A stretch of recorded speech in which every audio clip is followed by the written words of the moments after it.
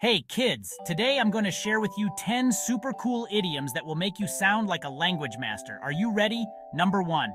When pigs fly. Have you ever seen a pig fly? Nope, neither have I. That's because it's impossible.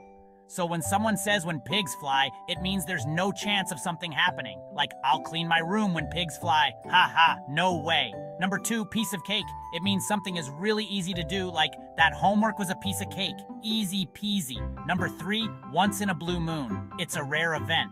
So when something happens once in a blue moon, it means it doesn't happen very often. Number four, raining cats and dogs. If it's raining really, really hard, you can say it's raining cats and dogs. Like we had to stay inside because it was raining cats and dogs. Number five, night owl. Do you love staying up late? Then you might be a night owl. A night owl is someone who prefers to be active at night. Number six, early bird. If you wake up early and feel super active in the morning, you're an early bird. It's the opposite of a night owl. Number seven, on cloud nine. When you're on cloud nine, you're super duper happy. Like, I was on cloud nine when I got my new bike. Number eight, fish out of water. If someone feels uncomfortable in a situation, you can say they're a fish out of water. Like I felt like a fish out of water on my first day at a new school. Number nine, like a bull in a china shop.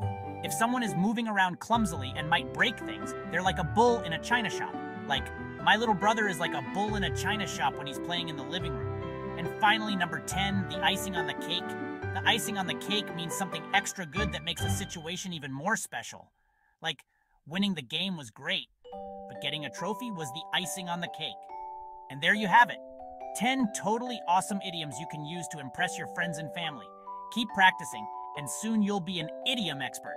Thanks for watching, and don't forget to like and subscribe for more cool videos. See you next time. Bye bye.